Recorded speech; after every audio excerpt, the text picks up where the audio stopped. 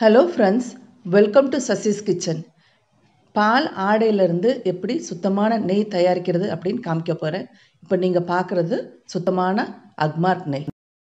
பதினஞ்சு நாளாக பால் ஆடையாக ஃப்ரீசரில் வச்சுருந்தேன். இன்றைக்கி காலையில் ஏழு மணிக்கு எடுத்து வெளியில் வச்சுட்டேன். வெளியில் வச்சுட்டு இப்போ மத்தியானம் ரெண்டு மணிக்கு எடுத்து கையில் சுற்றி விட்றேன். சுற்றி விட்டுக்கிட்டே இருக்கேன்.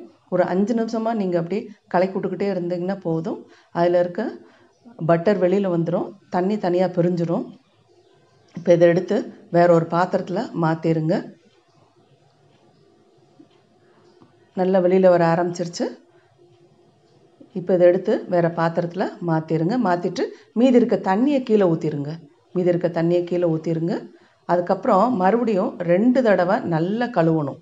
நல்ல தண்ணி ஊற்றி ரெண்டு தடவை நல்லா கழுவிடணும். நல்லா கழுவிட்டு ஃபில்ட்ரு யூஸ் பண்ணுங்கள் அப்போ தான் கொஞ்சம் வேஸ்ட் ஆகாமல் இருக்கும். இப்போது நெய் காய்ச்ச ஆரம்பிச்சிடலாம். நெய் காய்ச்ச ஆரம்பித்தாச்சு ஒரு பத்து நிமிஷமாவது ஆகும் நெய் காய்ச்சது இப்போ வந்து அடுத்த ஸ்டேஜ் வந்துருச்சு. நல்லா பொங்க ஆரம்பிச்சிருச்சு. அஞ்சு நிமிஷம் ஆயிடுச்சு இப்போது அடுத்த ஸ்டேஜ் நல்லா பொங்க ஆரம்பிச்சிருச்சு.